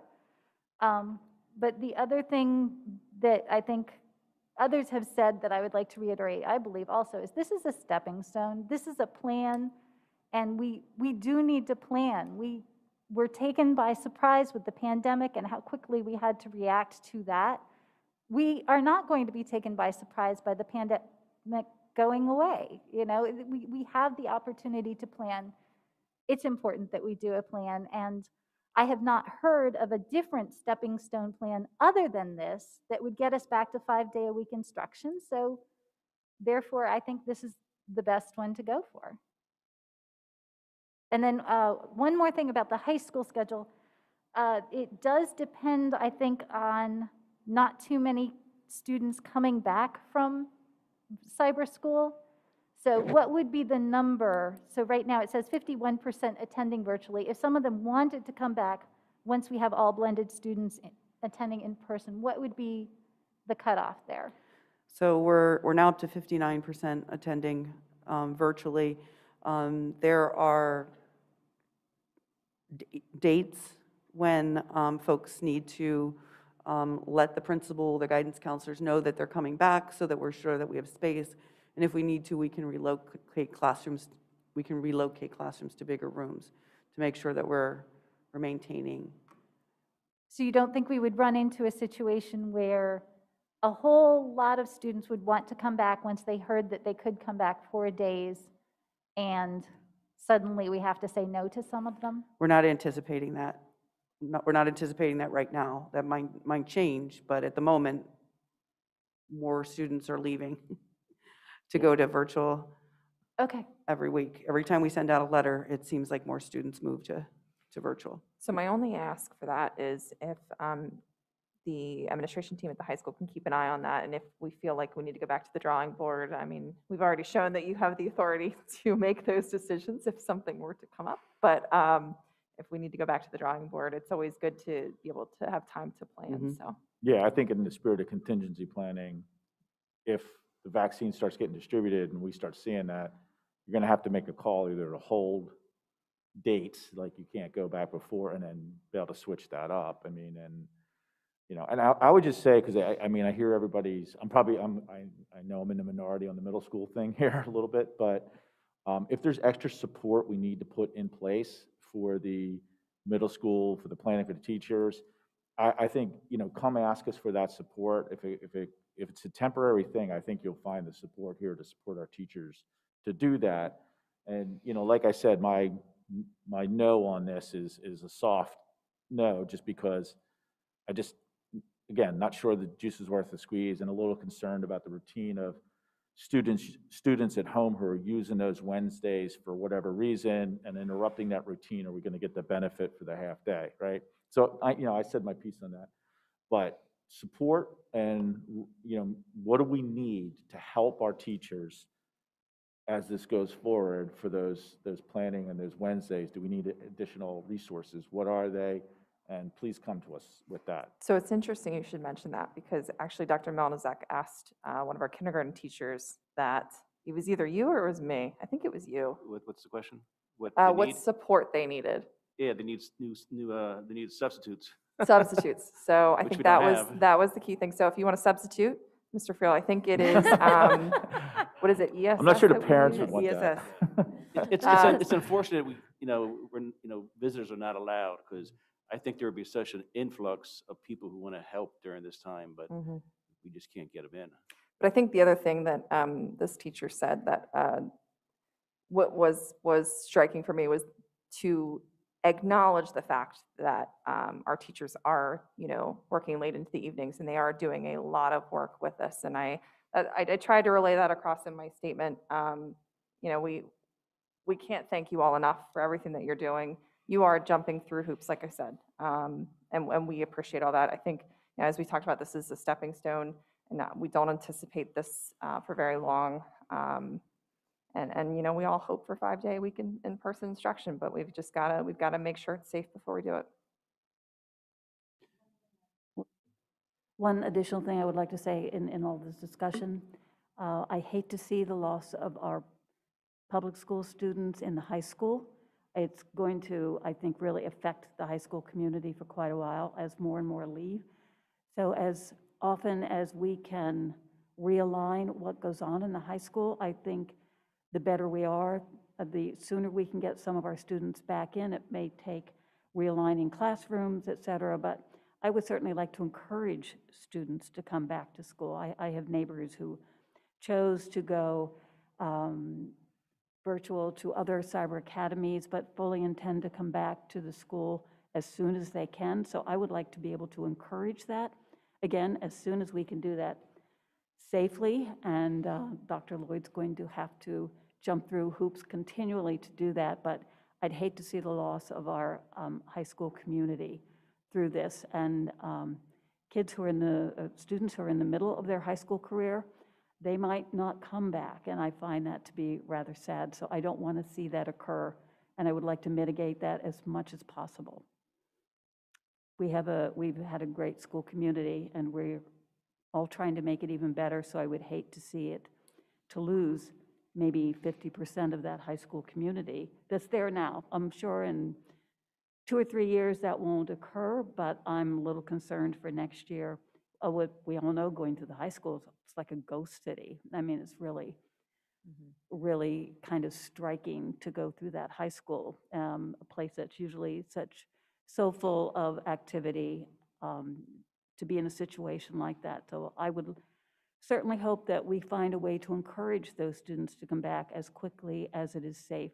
And I'm hoping those vaccines roll out really quick and people feel, start to feel safety back in their lives. So I, I was just thinking about that when we were talking about the high school. And I, I just had to say that. I, I firmly believe in public education and, and I hate to see the destruction of that high school community. I'll be quiet. I have to breathe anyway. Okay. You know, during this conversation, during this conversation, I think I've changed my vote like six or seven times, because everything everybody has said, I believe in, you know? So I'm, you know, I'm starting to get an ulcer. All right, do you want me to just call the vote then? That'll make you feel better. I do, no. Um, so, you know, I agree with everybody, you know, you know, Paul, your comments about, you know, what are we getting if we go to half a day synchronous, you know, is a good point too. Um, You know, but visiting these elementary schools and, and, and talking to the teachers, the, the, the fair, first thing they said when I asked, what do you need, is their Wednesdays, so, um, it really, you know, one, one teacher, I was almost looked panicked when, when we talked about taking it away. Uh, But those numbers last week, you know, of our students was just atrocious. Um, So there we got that. So back and forth, back and forth. I think, you know, for me, it's, it's, I have a personal uh, understanding of working too much. Um, You know, several years back, I was working like a a dog. Uh, Working in an emergency hospital, uh, working at a private practice. I kept doing more and more and more, and eventually I crashed. So I, I worry about that crash, because when I crashed, I I was not a- the best veterinarian I could be. Uh, And I worry that if our teachers crash, the same is going to happen to them. High school, you know, you know, I love that plan. It's the middle school, though, which, you know, I'm, I'm, I'm still kind of against, so um, that's my, my personal addition.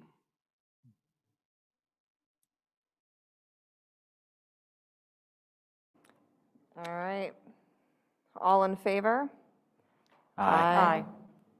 Any opposed? Nay. Nay. All right, motion passes. All right, item 13.4, approval of the Committee of the Whole and School Board Director meeting dates for 2021, 22. Uh, Approval of the Committee of the Whole and School Board meeting dates for 2021, 22 as presented. Do I have a motion? So moved. Mr. Deal, do I have a second? Mrs. Booth, any discussion? All in favor? Aye. Any opposed? Motion passes. 13.5, approval of an accelerated budget opt-out resolution certifying tax uh, rate within inf- inflation index 2021-22 fiscal year. Approval of an accelerated budget opt-out resolution certifying tax rate within inflation index 2021-22 fiscal year as presented. The approval of this resolution is being recommended by the Finance Committee from the January 4th, 2021 Committee of the Whole meeting. Do I have a motion? Motion to approve? Uh, Mr. Friel, do I have a second? Second. Mr. Deal, any discussion? All in favor? Aye. Any opposed? Motion passes. 13.6, approval of a memorandum of understanding between the Chester County Health Department and Owen J. Roberts School District. Approval of a memorandum of understanding between the Chester County Health Department and Owen J. Roberts School District as presented. Do I have a motion? So moved. Mr. Deal, do I have a second? Second. Uh, Mrs. DiMarino, any discussion? All in favor? Aye. Any opposed? Motion passes. Uh, Item 13.7, approval of confidential settlement agreement and release. Approval of confidential settlement agreement and release as presented. Do I have a motion? So moved. Mr. Deal, do I have a second? Second. Uh, Dr. Melnazek, uh, any discussion? All in favor? Aye. Any opposed? Motion passes. Uh, Item 13.8, approval to establish a student activity. Approval to establish a student activity uh, club in accordance with the provisions of Section 511 of the Pennsylvania School Code and School Board Re- Regulation 122A and/or 122B as presented. This approval also provides for the establishment of accounts within the student activity accounting system when applicable. Do I have a motion? So moved. Mr. Deal, do I have a second? Mrs. Booth, any discussion? Uh, I just wanted to say, this is for the Tech Pack. Uh, If you guys haven't checked them out, they are doing a lot of really cool work. Um, Just a little plug for them. Uh, All in favor? Aye. Aye. Uh, Any opposed? Motion passes. Um, 13.9, approval of student activity club advisors and student officers. Approval of student activity club advisors and student officers in accordance with the provisions of Section 511 of the Pennsylvania School Code for the 2021 school year as presented. Uh, Do I have a motion? So moved. Mrs. DiMarino, do I have a second? Second. Uh, Mr. DeFore, any discussion? All in favor? Aye. Any opposed? Motion passes. Item 1310, approval of designation of agent resolution for COVID-19 disaster. Uh, Dr. DR 4506, it's getting late. Uh, Approval of designation of agent resolution for COVID-19 disaster DR 4506 for the approval of obtaining financial assistance under the Robert T. Stafford Disaster Relief and Emergency Assistant- A- Assistance Act as presented. Do I have a motion? So moved. Mrs. Booth, do I have a second? Second. Mr. Friel, uh, any discussion? All in favor? Aye. Any opposed? Motion passes. 13.11, approval for membership in Keystone Purchasing Network uh, Cooperative Purchasing Agreement, or Purchasing Program. Approval for membership in Keystone Purchasing Network uh, Cooperative Purchasing Program as presented. Do I have a motion? So moved. Mr. Deal, do I have a second? Second. Mrs. Booth, any discussion? Uh, Usually, I just add that this does save us money many times. If uh, Mrs. Crumrine would like to join in on that, we do use this opportunity often, and it's always been a good program and it will continue to be so. All in favor? Aye. Any opposed? Motion passes. Uh, 13.12, approval ratification of professional services and/or maintenance agreements. Approval ratification of professional services and/or maintenance agreements as presented. Do I have a motion? So moved.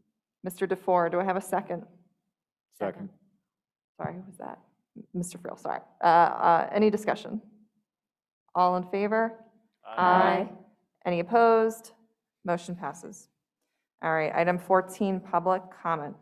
Uh, Information, proposals, and statements from individuals or delegations pertaining to any item. Speakers are to indicate your name and township of residence. Speakers will be limited to not more than three minutes. Please understand that this is not a time for dialogue with the board. Rather, the board will listen to all comments and consider them in future deliberations. And then just a reminder, if you have any questions for the school board, you can also email us at schoolboardmembers@ojrsd.net, and we will, you will receive a written response. Um, Just a guideline for anyone that would like to make a public comment, please use the raise hand function when it is your turn to speak. And please uh, don't forget to speak your, uh, to state your name and township residence.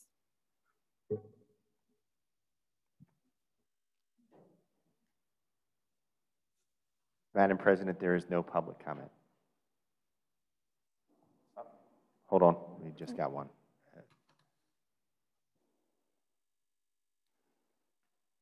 Mrs. McCreary, you are unmuted. Hi, hi, um, Heather McCreary, East Coventry Township.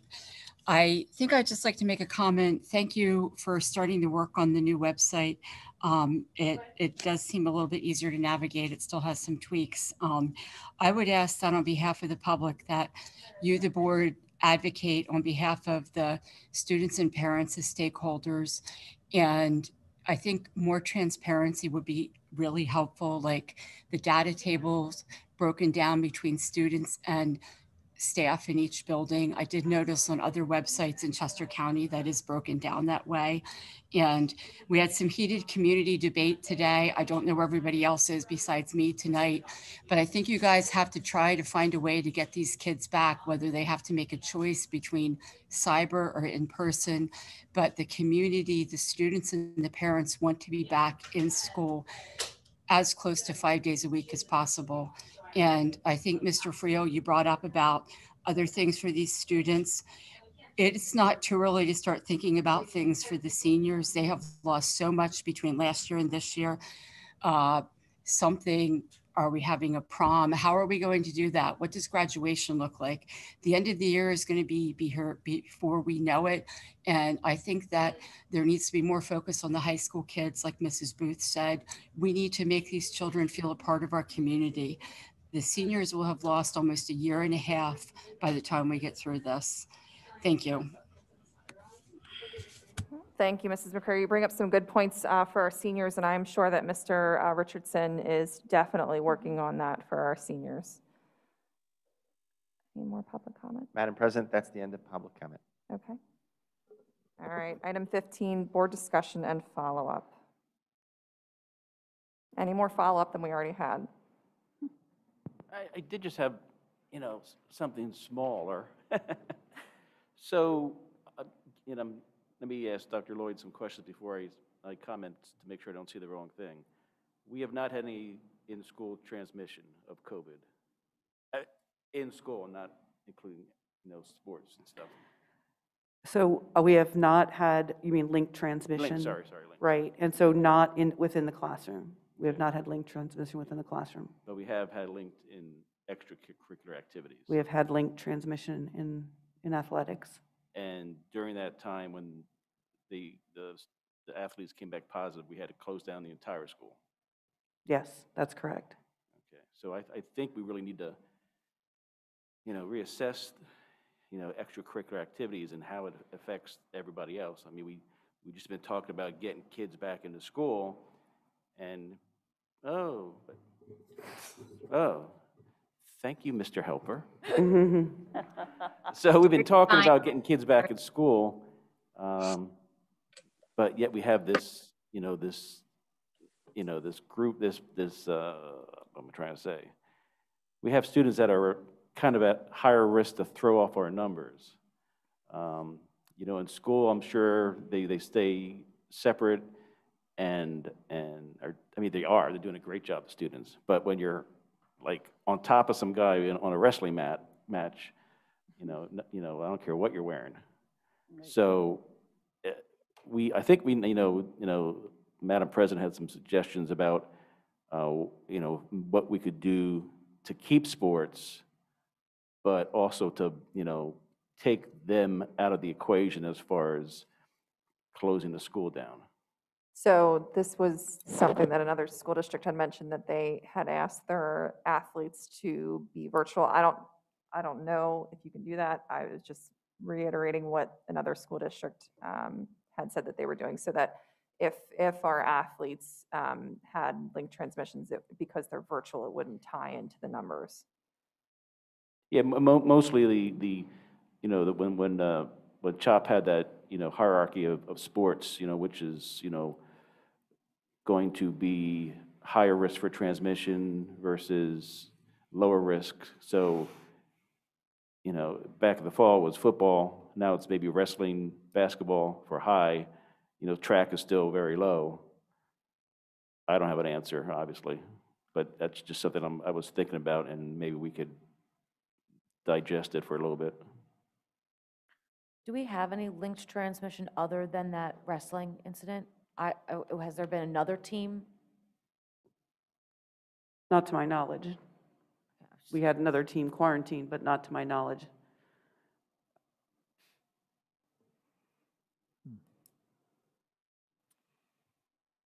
Any other board discussion? No, it's, it's interesting, but, you know, it's, uh, I don't, I don't know how you do it though, right? I- Yeah. I mean, voluntarily, if they, were- if they were virtual and then it wouldn't count, it would be good. So you ask, can you, can you, but can you legitimately ask high-risk sports to be virtual? Yeah, I don't know the I don't know. I mean, I, I don't know, it feels like a slippery slope And there. I, I don't want to pull, you know, in-person education away from a student that needs it. But, but yeah, but there is, if that, if that, es- if that happens again or that goes there, we should probably revisit this discussion. Yeah, hopefully have it's just a once and done, but, Yeah, but it is, hopefully it it is, it is a, a sore spot that we have. Um, You know, we don't want to close the entire school down just because of a certain cohort. And, and uh, just to clarify, no one's trying to take anything away from anyone. It's just because of these restrictions and these mandates we've got to follow right now, because of how strict they are with, with the numbers, that's the only reason we're really talking about this, is how do we Oh, yeah, yeah. keep school from not shutting down? Yeah, agreed, Well, I totally. think, I think it is worth reiterating that the board supports the health and safety measures that are in place, the masking of all the students and the, the teachers, making sure that people distance six feet, making sure that they wash their hands often. Those are all things that we support and are, are very much in favor of everybody cooperating with so that they keep everyone else who is in our school healthy. Because right now, um, it, it is very stressful not to know on any given day if we're going to have another positive in a school and then it has to be shut down the following day. That is, that is stressful and heartbreaking for everyone. So it's, you know, it is what it is, but the board very much is in favor of the, the teachers and the students and the community all supporting those initiatives. So we'll revisit if need be. Leslie, if you don't mind, I'd just like to quickly just reiterate what you shared. I think you did a beautiful job in the beginning of the conversation about the middle school and to um, just point out to those who have sent in frustration type emails around not having more time or that the, what I wouldn't want is the comment that, you know, Mr. Yuha's comment or the comment about the feedback we've gotten from the teachers to turn on them as being the reason we're having this discussion because um, I'm a huge fan and cheerleader of our teaching staff. They're the most amazing, in my opinion. Um, I will support them in any way that I can. So Paul's question, and I think I asked at the last meeting of what can we do to support what they need? I think that that conversation just still needs to be bubbled up to us so that we can all work together to figure out the best scenario. But I want to reiterate and end hopefully on you said it much better than I am. I'm not feeling very well, but uh, they are doing such an amazing job through all of this. And uh, I can think I can speak for everyone on the board, but I know I feel uh, genuinely appreciative of everything our teachers have done. So I wanted to thank them publicly. And you know, I just want to say one tiny thing. I also think we need to ha- thank the guidance counselors too. I know they're working really hard. And our school nurses. And, and, and mental health professionals as well, Yes. all of them. Yeah, you're right. They really are. It's really I know hard. that the, at the high school, and maybe um, someone who's listening to this might want this information, but the high school, the mental health counselors are w- meeting with students who want to, to talk about their, some of their struggles and some of the things they're going through. And so if there are students that want to meet with someone, that's going on in groups now, so. And they're, they're definitely- doing that at the elementary schools Yeah, as well. definitely I reach think out for there's- help if you yeah, need it, because, There's a lot of support there. yep. And, and mental health also for our, our, our staff. Um, You know, there's not, there's nothing in, in the, in the school itself where they can go to, but hopefully our insurance will, will cover, you know, lots of, uh, you know, uh, different types of assistance, counseling. You know, I, I, I found that as, you know, extremely important to get through really difficult situations. So I, I encourage anybody who's on the verge or just, just to talk to somebody. So, Yeah. And again, uh, you know, ditto to everything. Yeah, I think it's been really nice, not just the teachers, but the whole staff, the, from, you know, our, our, our, our Teamsters, our bus drivers, our kitchen staff, you know, everybody's kind of coming together to make this work, and it's, it's very imperfect, and it's, it's just, you know, it's not there. Um, it's so much out of our control, but, but to, to, I think, you know, like Kathy and Lydia's point on, and, and bringing support forward is, is I definitely like to see us come back on the mental health issues and the community for the kids, like how do we bring them together? You know, either in the next board meeting or the next, uh, I don't know what committee it belongs on, but a more, like, pull some data around this and, and and maybe a little bit more forward-thinking of what Can I, programs. can I we direct can- it to a committee? I think it would fall under pupil services if we're going to talk about mental health. Yeah, that's fine, yeah. how- Kathy, Right, Yeah. I'm writing it down. thank you. Yeah, so I think that's a great, you know, thing that we should kind of maybe bubble up a little in, in more detail and deeper. I will say that we have added a lot of supports this past year for mental health. Um, Maybe just sharing more of that again um, and then kind of brainstorming what else we can do. Yeah, and we'll have to talk about when to discuss this, because right now, Pupil Services doesn't have a meeting for a while, We- so. Yeah, we canceled the 25th to add curriculum in there, Yeah, so. so. um, If they were combined, you could do it. The problem with bringing the kids together is we got to be able to bring the kids together, right? So Yeah, we've got yep. some time to map it out, so. Okay, I'll work on that.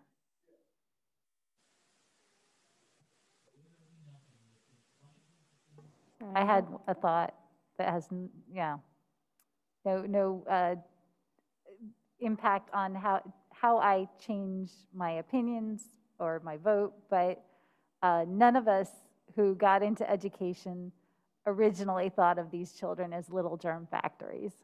I think during this pandemic, it's easy to fall into the trap of considering them as germ factories and not as the fully faceted individuals they are. And I think this board has done a good job of trying to remember that they really are fully faceted individuals, not just little germ factories.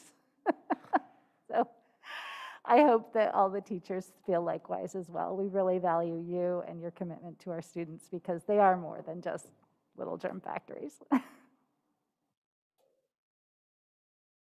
right, are we good on board discussion? Okay. All right, so item 16, board request for more information. Think we got all that out already. We might just want to combine that, LMP. Uh, All right, item 17, adjournment. Thank you, everyone. Uh, Have a great night. Do we need a motion? You don't? Okay.